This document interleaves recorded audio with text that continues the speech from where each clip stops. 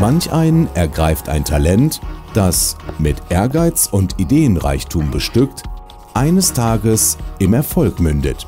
Hin und wieder fällt so ein Meister einfach vom Himmel. Wer nicht von so weit herkommt, den bilden wir auf jeden Fall aus.